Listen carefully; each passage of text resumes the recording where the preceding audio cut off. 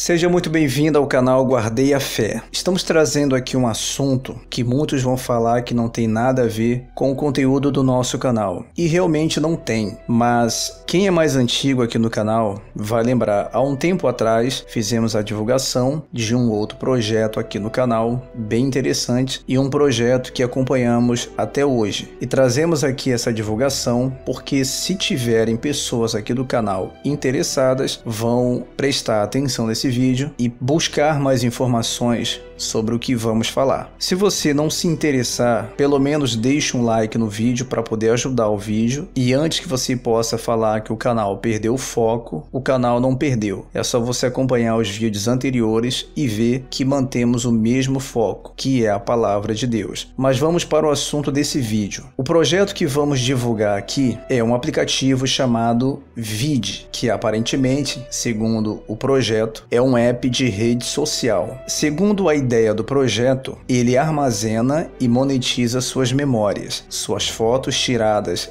em momentos especiais ou lugares especiais. Para quem usa o Instagram ou o Facebook para tirar suas fotos, acredito que você vai se interessar pelo projeto. Instagram e Facebook, como sabemos, não pagam nada aos usuários, apenas coletam dados dos usuários para poder vender propaganda. Já o Vid tem essa ideia de monetizar as memórias. Monetizar, para quem não sabe, é pagar ao usuário um valor por ele usar o aplicativo. Por exemplo, nosso canal aqui no YouTube é monetizado e por isso o YouTube nos paga. Quando veio a notícia desse projeto, eu achei bem interessante e também chamou a atenção de muitas pessoas que trabalham com redes sociais. Por exemplo, no Telegram do projeto Vid, eles já contam com mais de 22 mil membros. Vemos que muitas pessoas se interessaram no projeto. Eles também criaram uma campanha de recompensa para os usuários que fizerem algumas tarefas no Telegram, no Instagram, Twitter e YouTube e para quem tem um blog.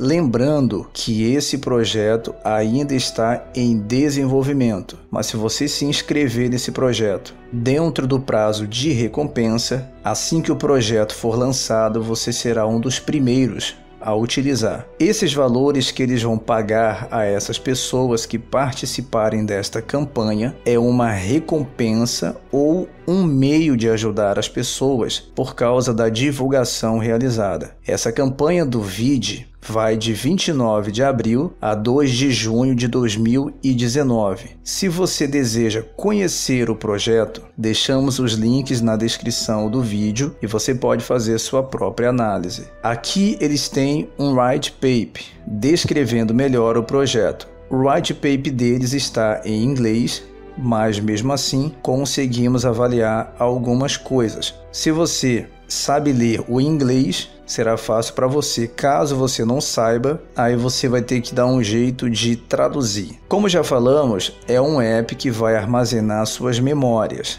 fotos, vídeos, enfim, tudo isso será armazenado e monetizado. Pense em um Instagram, Facebook ou Snapchat, mas de uma maneira monetizada. Se você se interessar por mais informações do projeto, acesse o link que está na descrição. Torcemos que esse projeto venha a dar certo, pois para quem trabalha com redes sociais, a exemplo do nosso canal aqui, o Guardei a Fé será muito bom e peço para que você acesse os links da descrição para mais informações. Peço mais uma vez desculpas por esse conteúdo não ser relacionado ao conteúdo do nosso canal, mas para quem se interessar, conheça melhor o projeto VID. Um forte abraço a todos.